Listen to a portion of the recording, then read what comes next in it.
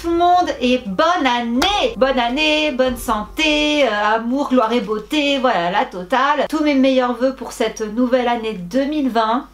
Et oui, déjà 2020, c'est un chiffre qui sonne un peu, euh, je sais pas, c'est un chiffre rond, c'est un chiffre euh, un chiffre rond, voilà tout simplement. Avant de démarrer, je m'excuse de mon absence de ces derniers temps. Pour celles et ceux qui me suivent sur Instagram, ce n'est pas le cas, je vous renvoie là ou là. Voilà, si vous voulez me suivre, ça se passe par ici. Euh, j'ai décidé de faire un break. Voilà, pendant les trois, trois dernières semaines, oui au moins. Ça fait du bien de temps en temps de faire une pause au niveau des réseaux sociaux. C'était pas les idées vidéo qui me manquaient, mais j'avoue que j'ai eu un, gros coup de mou en fait. J'ai bossé et ensuite euh, j'étais en congé, donc j'en ai profité et j'étais quand même euh, tout autant crevée. En fait, l'année 2019 a été euh, une année que je ne suis pas prête d'oublier, aussi bien dans le négatif que dans le positif. Et là, c'était vraiment... J'avais vraiment besoin de de souffler, de recharger les batteries. Alors c'est pas encore complètement fait, hein. Merci Dieu du maquillage d'exister. Mais n'empêche maintenant c'est bon, focus. Et je reviens donc aujourd'hui avec une vidéo concernant le Pumpkin Autumn Challenge Oui, ça date, ça commence à dater un petit peu, mais j'avais promis une partie 2. Si vous n'avez pas vu la partie 1, je vous la mets euh, ici ou ici, je, ne sais jamais, je crois que c'est ici. Pour la suite du point lecture de ce Pumpkin Autumn Challenge, je vais démarrer avec un abandon. Mais c'est pas un abandon parce que je n'ai pas aimé, c'est un abandon parce qu'en fait je j'arrivais pas en fait. Je crois que c'est un livre avec lequel il faut que je prenne du temps et je parle du livre Perdu les sortilèges de Deborah Harkness. Voilà, j'en suis euh, même pas euh, à la moitié tel que vous pouvez le voir. Et en fait, euh, pour situer un petit peu le contexte, ce bouquin, je l'ai démarré en premier dans le Pumpkin Autumn Challenge. Et je sais pas, j'avais l'impression de, de, de, buter, en fait, de pas réussir à avancer. Du coup, je l'ai gardé en parallèle de mes autres lectures. Et de temps en temps, j'y revenais jusqu'au moment où je ne suis plus revenue dessus. Donc euh, pour la petite histoire, je vous rappelle qu'on est sur une histoire de sorcière et de vampire. Je vais pas vous relire le résumé, encore une fois, je vous renvoie à ma vidéo sur le Pumpkin Autumn Challenge. Mais je peux pas dire que je n'aime pas. Moi, c'est surtout la série que j'ai adorée. Donc c'est quand même assez fidèle à la série, mais c'est voilà beaucoup plus approfondi, normal, hein, toujours les romans. Euh, je peux vraiment pas dire que j'aime pas, juste que c'est c'est un peu plus longuet que, mes autres lectures en fait du coup voilà j'ai préféré m'arrêter ne pas me forcer pour pas que ça devienne indigeste. Donc voilà c'est un livre je pense que je vais mettre euh, sûrement quelques mois euh, à lire mais c'est pas grave. Je, le terminerai dans, le courant de l'année 2020 et je vous en reparlerai plus en profondeur quand je l'aurai terminé. Mais voilà encore une fois ce n'est pas un abandon parce que je n'aime pas c'est juste que c'est une lecture qui, n'est pas, euh, pour moi en tout cas, qui n'est pas aussi fluide que ça et j'ai besoin de prendre mon temps avec ce livre-là tout simplement. Comme pour la première vidéo, je vous mettrai ici, là, à quelle catégorie appartenaient les livres parce que je ne m'en souviens plus. Et maintenant, nous allons parler des chroniques des fleurs d'opale, La candeur de la rose, partie 1 de Ilena. Et là, comment vous dire? Ah C'est un livre en auto-édition. Je l'avais commandé il y a déjà quelques temps. Je, repoussais sans cesse la lecture de ce livre parce que c'est un pavé. Mais je crois que vous vous rendez même pas compte à quel point c'est un pavé. C'est que voilà comment c'est écrit. Je sais pas si vous verrez quelque chose, mais c'est vraiment pas une lecture euh, aérée quoi. C'est vraiment des lignes très serrées. C'est des blocs. C'est vraiment des, blocs. Du coup, ça me, ça, me faisait, euh, ça me faisait un peu peur en fait de l'attaquer. Et je m'attendais tellement pas à ça je je sais pas quelle était l'intention de l'autrice. Je sais pas si elle avait vraiment l'intention de se faire auto-éditer toute seule ou si personne n'a voulu de son roman et que voilà, parce que je me dis c'est pas possible. La plume est d'une finesse, d'une beauté comme ça fait, je, je, sais pas. Euh, récemment, de tout ce que j'ai pu lire, je n'ai pas, pas vu une aussi belle plume. C'est le vocabulaire est très beau on est dans un langage euh, un petit peu à l'ancienne. Euh, voilà, le personnage principal s'exprime vraiment d'une manière euh, très, recherchée, très gardée, tout ça. Mais qu'est-ce que ça fait du bien quelque part? On n'a pas, je n'ai pas, en tout cas moi, l'habitude de, lire du français aussi soutenu. Et pour autant, c'est pas, pas des mots qui sortent de la lune, quoi. On comprend quand même très bien le, les expressions, tout ça, mais c'est beau. C'est vraiment écrit euh, d'une manière magnifique. L'histoire euh, nous emporte, mais tellement loin. Là, on est vraiment dans les histoires euh, de dieux, de déesses, de mythologie, de quêtes, d'aventures, de, de, de, trahison, d'amour, d'amitié, de fraternité. Il y a tout, il y a tout en fait. Il y a tellement d'éléments dans ce livre pour qu'on l'aime. Je ne sais pas pourquoi j'en ai Enfin, si, je l'ai quand même vu passer dans, la YouTube sphère, mais, mais je me demande pourquoi on ne s'est pas plus attardé dessus. Là, j'ai envie de me jeter sur le tome 2. Ça a été mon coup de cœur, un de mes coups de cœur, si ce n'est peut-être même le plus gros coup de cœur de, mon, de ce Pumpkin Autumn Challenge. Et j'aurais pas pensé que ce serait lui, honnêtement. Mais euh, l'histoire m'a tellement pris aux tripes. Donc là, on est sur un, un peuple de comment il s'appelle déjà Alors c'est donc on est à Diftil, une jeune fille du peuple de l'air. Donc en fait, euh, elle a une marque particulière euh, sur le front qui fait que donc on, on l'identifie comme étant la, cinquième déesse, la nouvelle déesse qui était censée arriver. Et en fait, très jeune, son village est attaqué. Ses parents sont tués et elle se retrouve séparée de son frère. Elle va trouver asile dans un, dans un monastère sous, le joug d'un homme euh, qui va lui retourner le cerveau complètement en lui faisant croire que euh, tout ce qu'il fait c'est pour son bien alors qu'en fait il n'a qu'une envie c'est de la manipuler pour la, donner ensuite euh, au roi afin d'exploiter ses pouvoirs. Donc heureusement on va venir la sortir de là, je ne vais pas trop vous spoiler. Et ensuite donc elle va s'enfuir et se retrouver à arpenter des, des contrées jusqu'à un endroit où elle est censée avoir des réponses.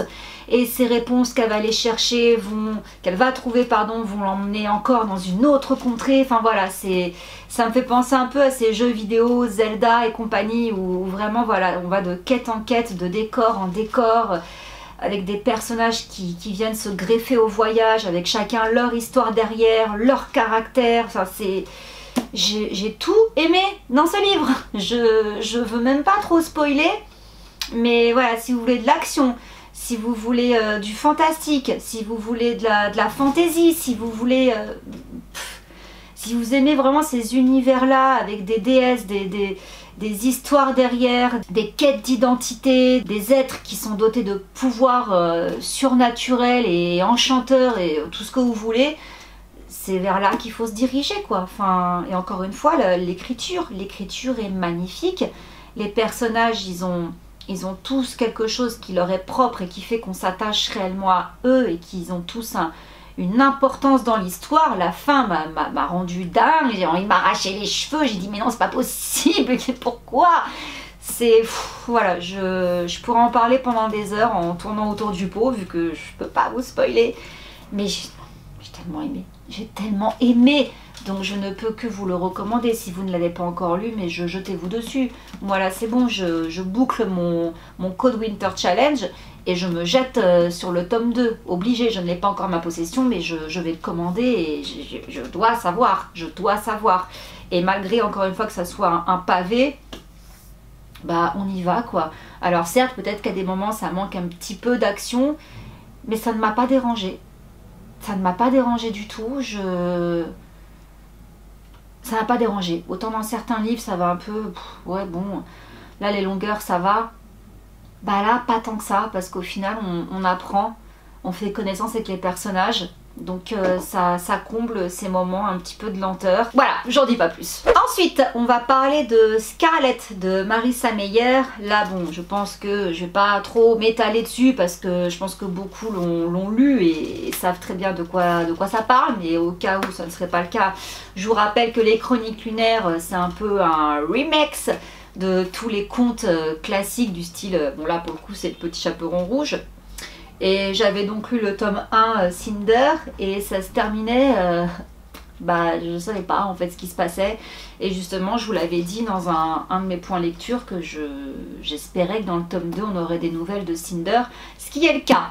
Alors là-dessus j'étais très contente, c'est qu'en fait euh, voilà dans le tome 2 on a vraiment l'histoire de Scarlett et en parallèle des chapitres sur Cinder, donc on ne quitte pas ce personnage. Et en fait on va voir comment tout ça a un lien. Et pour le coup, euh, bah, plus ça va, plus, je m'attache aux chroniques lunaires. Je trouve cet univers steampod post-apocalyptique euh, vraiment vraiment bien fichu et c'est vraiment euh, une super réécriture mais c'est surtout cet univers que j'adore en fait cet univers mélangé entre les humains, les cyborgs, les, le peuple lunaire qui ont des pouvoirs tout ça enfin c'est c'est vraiment prenant comme univers. Une chose est certaine, c'est que pour l'instant, ce tome 2 des Chroniques lunaires, j'ai complètement adhéré. J'ai hâte de lire le 3, qui sera donc euh. Alors là, je sais pas euh, du tout de, qui ça parle. La couverture, euh, je comprends pas trop. Donc euh, on verra bien. Si vous aimez les univers steampod post-apocalyptiques, avec des êtres mi-humains, mi-mécaniques, tout ça, avec du fantastique, du surnaturel, bah, si vous n'avez pas encore lu les chroniques lunaires, bah, allez-y, allez-y, euh, franco. Ensuite, on a un deuxième abandon, décidément. Mais encore une fois, voilà, ce n'est pas un abandon parce que je n'ai pas aimé, c'est juste que, voilà, j'avais envie de faire une petite pause. Au final, je ne l'ai pas repris, mais c'est pas grave, je le terminerai. Euh, avec Billy Brouillard, le don de Trouble Vue.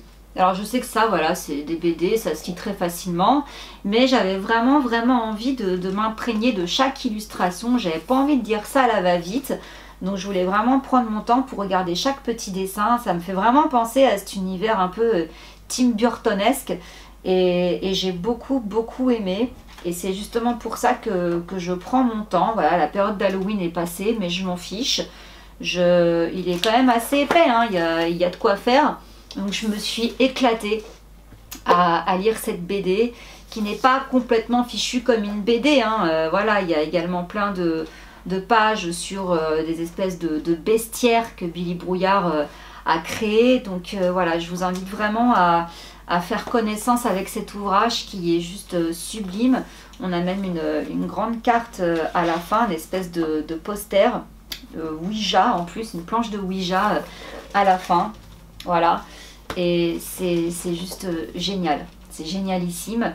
Encore une fois, ça me fait beaucoup penser à du Tim Burton. Et je pense que c'est pour ça que sur moi ça marche euh, aussi bien. Donc euh, pas terminé mais validé. Et on va conclure cette vidéo avec euh, une dernière lecture que j'avais inclus dans mon, dans mon Pumpkin Autumn Challenge. qui était, je crois, ça concernait, j'avais pris comme mot-clé enfance et j'avais décidé de relire La sorcière de la rue Mouffetard de Pierre Gripari qui est un livre que j'avais lu quand j'étais en primaire. Mais je voulais vraiment redécouvrir ces contes avec un œil adulte, et le moins qu'on puisse dire, c'est que, à mon souvenir, euh, je, pense hein, qu'il m'a fait le même effet que quand j'étais gamine. C'est que je trouve ça hyper glauque. Voilà. Je me souvenais plus en fait comment ça avait été fichu, notamment tout ce qui s'était dit dans l'introduction, je m'en souvenais plus. Et j'ai trouvé ça euh, vraiment inquiétant de la part de l'auteur de, raconter ça à des enfants. Je comprends pourquoi j'avais eu des petits frissons, pourquoi des fois voilà les, les dessins m'avaient un petit peu euh, un petit peu effrayé. Là vous verrez rien, mais j'ai trouvé ça euh, vraiment glauque en fait pour des enfants. Et en même temps très bien foutu parce qu'au final, euh, si on s'en réfère à ce qui, à l'histoire de, de l'auteur, c'est des contes écrits avec des enfants, d'où le côté un petit peu farfelu, mais mais que c'est cruel, que c'est cruel, que c'est gore, que c'est glauque, et en même temps que c'est bon. voilà. Donc euh, même moi à mon âge, euh, en le lisant, je me disais oh oh mais non mais non oh mais c'est horrible. Donc euh, bon bah voilà, ça, je comprends le succès qu'il a eu. Je, je suis pas certaine que mettre ça dans, les mains d'enfants de, d'élémentaire aujourd'hui, ou peut-être plus les CM1, CM2 mais les plus petits, je me verrais peut-être pas forcément leur mettre ça dans les mains. Je sais pas, dites-moi ce que vous en pensez. Mais en conclusion, euh, j'ai adoré. Et c'est assez, euh, bizarre. C'est quand même, euh, je trouve, très perché. Il y a quand même aussi du Tim Burtonesque dans l'histoire à la sauce parisienne, quoi. Donc, aucun regret de l'avoir relu et de l'avoir conservé. Et je le conserverai encore. Voilà, bah écoutez, cette vidéo est maintenant terminée. Donc on en a enfin fini avec ce Pumpkin Autumn Challenge 2019. Euh, donc euh, voilà, j'ai en ce moment je poursuis mes petites lectures euh, du Cold Winter Challenge et de mes lectures romance, nouvel an, tout ça. Donc je mélange un petit peu en ce moment. Donc euh, pareil, je vous renvoie à ces vidéos, je crois que c'est là, je vous renvoie aux vidéos que, j'ai faites à propos de mes lectures hivernales, pour ceux que ça intéresse. Et on se retrouve très bientôt avec un point lecture euh, au niveau de tout ça. Et en attendant, je vous fais plein de gros bisous et je vous souhaite encore une très très bonne année. Et je vous dis à la semaine prochaine. Bisous, ciao